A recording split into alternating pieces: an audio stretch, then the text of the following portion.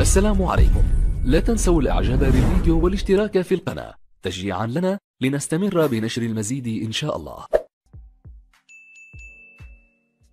la famille السلام عليكم اليوم جبت لكم شي حاجة اللي صراحة ما كتفرحش و vraiment vraiment بغيتكم تكملوا هاد les stories وتبارطاجيوهم حيت صافي كيبان لي بلي بلادنا وصلت لواحد المرحله اللي خطيره بزاف وصلوني des vidéos اللي بنادم كيطيح في الزنقه ما عرفتش واش بصح هاد les vidéos هادو ولا لا ولكن الحاجة اللي بغيت نقولها هي لما كانوش بصح خاصنا نعرفوا بلي هذا الشيء اللي غنوصلوا إلا كانوا هاد les vidéos بصح بنادم كيطيح خاص بلادنا والدولة والحكومة دوز المرحله الثانية ديال أشد العقوبات على أي واحد غادي يخرج من الدار. على الغرامات على صافي خاص يكون الزيار هادشي ما بقاش فيه الضحك.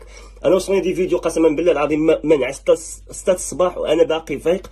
تصدمت الدولة خاصها دوز مرحلة أخرى. صافي بنادم خاصو يتزير ما يخرجش من الزنقة. خرج عقوبات أشد العقوبات الغرامات. خاص هذا الشيء يوصل ديال بصح. الا إلا كان هذا الشيء ماشي بصح خاصنا نعرفوا إلا بقينا في استهتار وكنستهزئوا وكنضحكوا على هذا الشيء.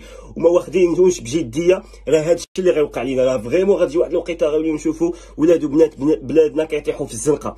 نخليكم مع les stories وأبخي غادي نقول لكم واحد الحاجة اللي ضروري خاصها دار. وضروري خاصكم تبارطاجيوها كاملين وكاع les influenceurs خاصهم يبارطاجيو حول ولا قوة إلا بالله العلي العظيم.